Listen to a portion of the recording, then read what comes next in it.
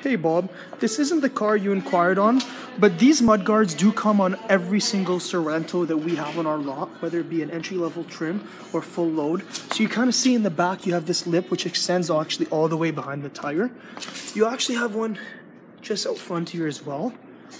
And in the front of the tires here, you have these mud guards as well that extend over the entire tire.